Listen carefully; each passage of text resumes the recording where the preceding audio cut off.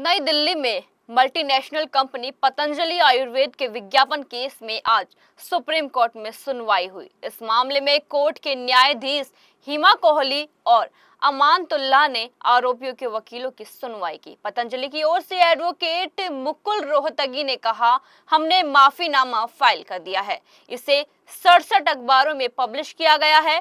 Justice हिमा कोहली ने आरोपियों के वकीलों से पूछा कि विज्ञापन का साइज़ कितना था और उन्हें कटिंग भेजने का निर्देश दिया। उन्होंने कहा हम वास्तविक साइज़ जानना चाहते हैं। इन्हें बड़ा करने की ज़रूरत नहीं है। कोर्ट ने रामदेव और बालकृष्ण को आगे की कार्रवाई के लिए निर्देश दिया कि वे अगले दो दिनों में ऑन रिकॉर्ड माफीनामा जारी करें। मामले की अगली सुनवाई 30 अप्रैल को होगी। पतंजलि आयुर्वेद ने सोमवार को एक वक्तव्य में कहा, हम सुप्रीम कोर्ट का पूरा सम्मान करते हैं। हम इसके लिए माफ़ी मांगते हैं। भविष्य में कभी ऐसी गलती नहीं दोहराएँगे। इस विवाद में अब अगली कार्रवाई का इंतज़ार है, जिसमें कोर्ट निर्दिष्ट तारीख पर सुनवाई करेगा।